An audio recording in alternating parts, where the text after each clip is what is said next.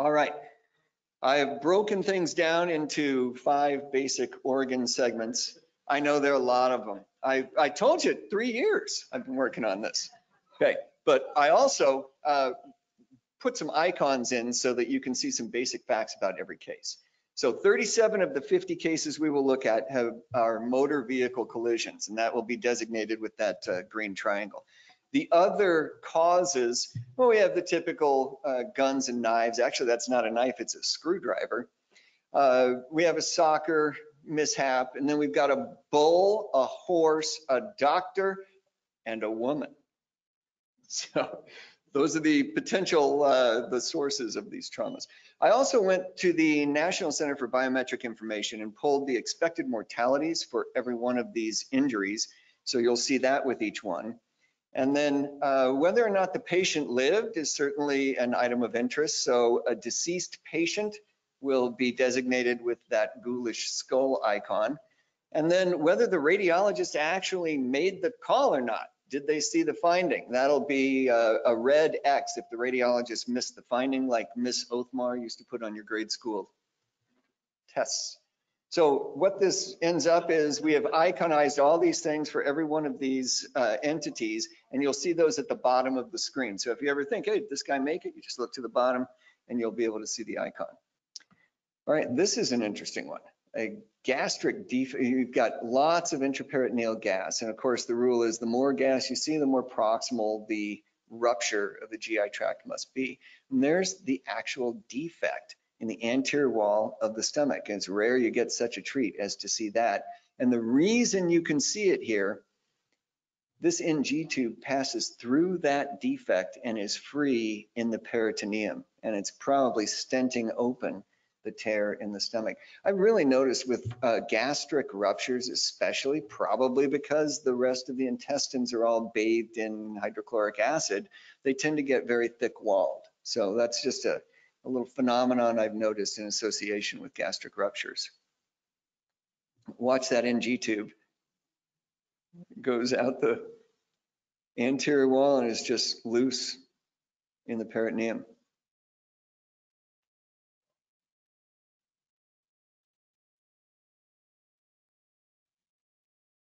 Incredible. And then we follow it back up and you'll see the tip right there.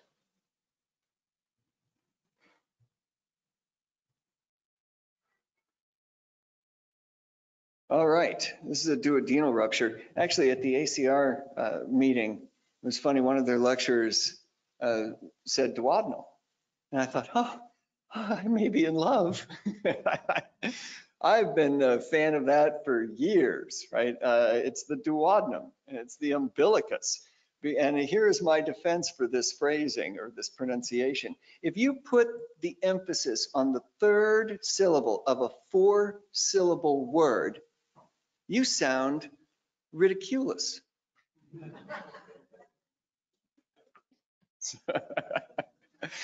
All right, so this is a, a, duodenal rupture, and it's that posterior wall right near the uh, uh, meeting of the second and third portions of the duodenum. You can see there it's the uh, duodenal defect, and that there's just no posterior wall to it whatsoever. The gas collections with these can be kind of subtle, right? But they are definitely retroperitoneal.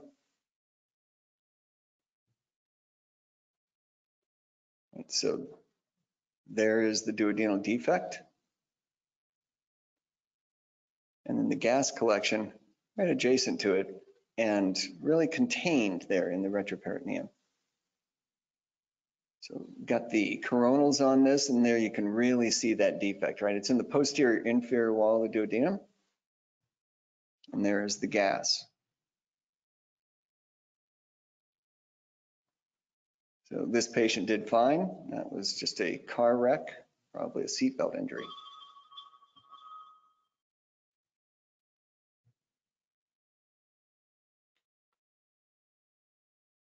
Hmm. There we go. My battery might have died here. Oh. All right, this one is a duodenal hematoma, and this one is really interesting. If you didn't know this was trauma, you might actually think, what is going on here? It's an enormous, relatively hypodense collection. It's a little variegated. Hey, thanks. Right, and it's basically, it's a mural hematoma that's bound by the serosa of the gut. And I believe the, the duodenal lumen is actually displaced medially there. Uh, probably is sitting somewhere around in here. Hey, there we go. The thing that's impressive about this one though is the size. It just goes on and on. So this was a soccer injury. It actually wasn't a soccer ball. This patient hit the ground and was kicked in the epigastric region. And that's what resulted in this.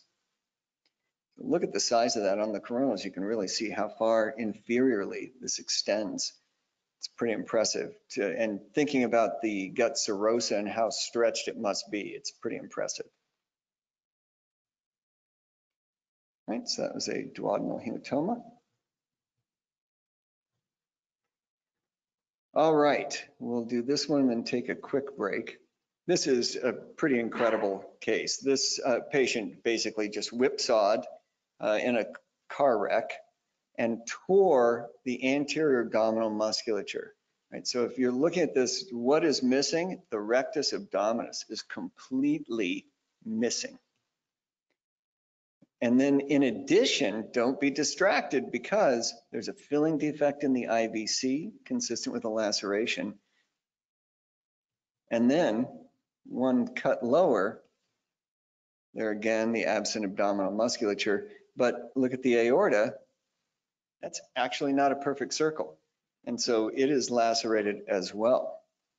You can see there's quite a bit of retroperitoneal perivascular stranding there, right? So watch those rectus muscles. There they are, and there they're not. And then you pick them back up right there. Incredible. And so there's the IVC filling defect, and there is the abnormal contour to the aorta. And you can see that aortic pseudoaneurysm very nicely here. So no rectus abdominis muscles here. And then look at that that aorta is definitely transected and there's a large pseudoaneurysm there. Couldn't get a good view of the IVC on the sagittals here. Uh, and ultimately, this patient incredibly survived.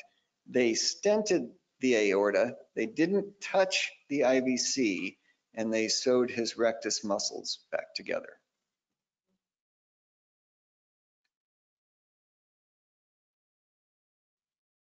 Here we go. Uh, I love this one just because of the tale that I get to tell. So this was one of my cases.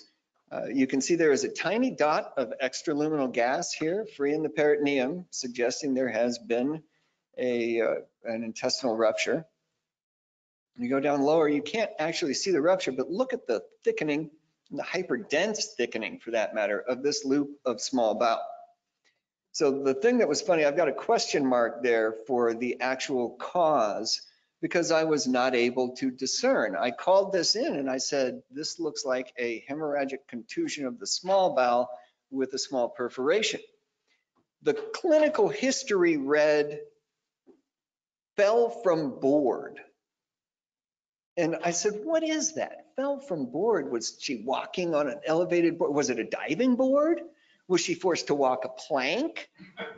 I said, can you give me some clarity? Because I knew at the time this is a great case, right? This is a hemorrhagic small bowel contusion with a perforation. I'm going to be using this and I want to tell people what actually happened. The ER guy says, I haven't talked to this lady. I, I, have no idea. And I said, well, can you find out? And he said, well, can't you just say a board was involved? A board was involved.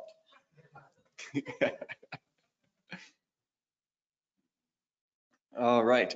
Uh, this was a great case. And again, that theme of aortic injuries so frequently being associated with other injuries. So this is an irregular aorta right near the isthmus, right? That is an aortic laceration. And there's actually, you can see the linear filling defect there. Not a lot of stranding, but there is actually a lot of intramural hematoma uh, surrounding the descending thoracic aorta. But then, oh, sorry, first we have this. You can see that little uh, pseudoaneurysm there on the undersurface of the aorta, a lot like other ones we've seen. And that wall thickening, it's probably an intramural hematoma descending down the descending aorta. But here in the abdomen, a lot of fluid density in the peritoneum itself and these two small foci of extravasation or pseudoaneurysm formation uh, sitting there in the abdomen. But the other thing that's impressive is there's ileal pneumatosis. There's just a little bit of gas in the wall of the terminal ileum. So this actually, the aortic laceration was called, the bleeding, the mesenteric hemorrhage was called, and those small pseudoaneurysms, but we did not call the ileal pneumatosis. And there on the cine, you can really see it. It's, uh, it's pretty pronounced. And so the surgeon was furious. I got an earful on this one. Uh, and I, I even, he said, I would have gone to the abdomen much faster if I'd known that that bowel was necrotic. He said it was terrible, purple, dusky when we got in there and ultimately had to be partially resected. And he blamed that on us because we did not call the pneumatosis in the terminal ileum. And I said, really? Extensive hemorrhage and pseudoaneurysms of the mesenteric vessels wasn't enough to get you down there fast enough? But apparently it wasn't. Uh, the other thing that was funny about this, uh, Michael Rodriguez from Synergy, he was watching me present this case one time and he came up to me afterwards and he said, you know, sometimes the bowel shears and you just get gas in the wall. And I said, Woo, you know, that's definitely, that definitely can happen. So I went back and I called the pathology department and said, hey, do you still have that length of bowel? And can you take a look and tell me if you think it was ischemic or torn? And he was, he was a team player. He went in and he took a second look and he called me back a couple days later and he said, no, I can't tell. So, so I guess we don't know. But there is the sagittal and the aorta.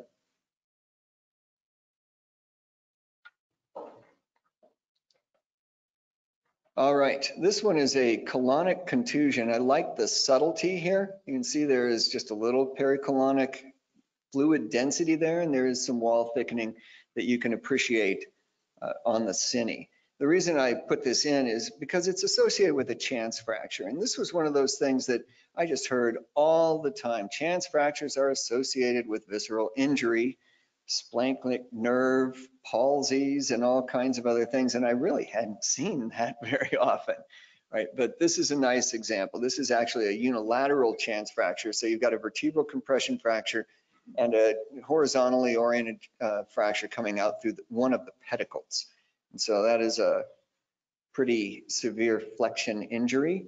And that tends to uh, be associated again with visceral injuries. So there's, the, watch that left colon. Look at all that fluid around it. And you can really see you lose that relatively decompressed colon in all that hemorrhage. So that's a colonic contusion. They didn't ultimately have to do anything with it, but that's a, relatively subtle call. And certainly your attention would be called to it uh, by the presence of that chance fracture. Right? You're gonna have to do a much more in-depth uh, evaluation of the viscera.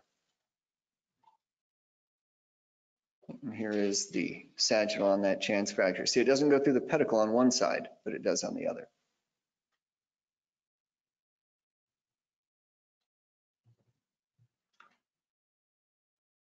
All right, well, this is a very curious case. We're going to be looking at some bladder ruptures later, intraperitoneal and extraperitoneal but I've never seen one on this particular aspect of the bladder. So you can definitely see there is a dot of gas within the bladder itself telling you that there is a problem. And there is perirectal gas here, low in the perineum. There's a nice collection of density there dependent in the bladder that's almost certainly clot. But look at this. This is actually a retrograde cystogram. And you can see there is a defect in the posterior bladder that ultimately is working its way into the rectal lumen. Incredible.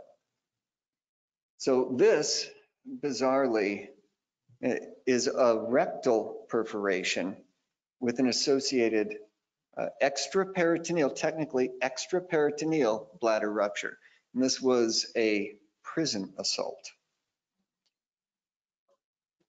So uh, I made this one bounce. It's pretty impressive, but isn't that incredible that they did a retrograde cystogram and that contrast made its way into the rectal lumen?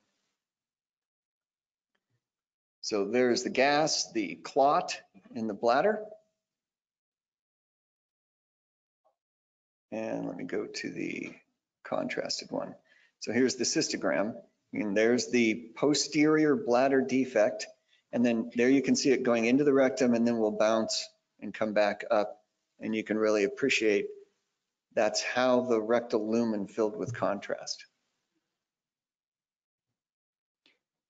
Oh, the state of our prisons. All right, and if you thought that one was crazy, this, uh, so this actually had a clinical history that would have made Hemingway jealous, envious. It said, rolled, ejected, crushed.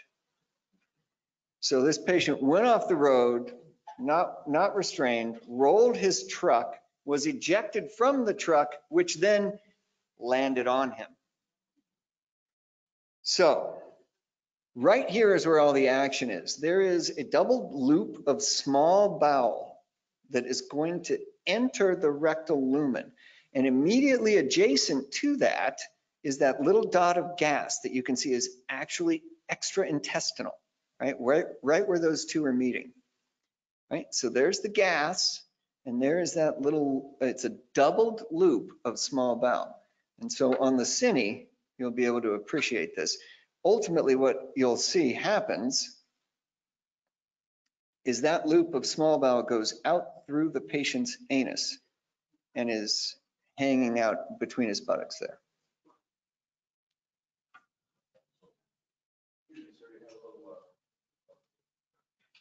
So right there is the gas and you will see that loop of small bowel enter the rectal lumen. There it goes. And then come out the anus. So uh, they actually saved a surprising amount of the small bowel uh, in this. They they did have to resect a little bit. It was pretty beat up, the surgeon said. But he said, you know, we got to, we shoved a lot of it back in.